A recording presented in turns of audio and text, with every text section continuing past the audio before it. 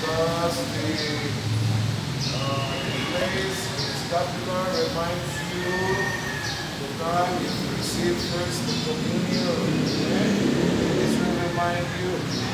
Yeah. Good. Is it? Okay, good. So wherever you go, huh? You have to wear it.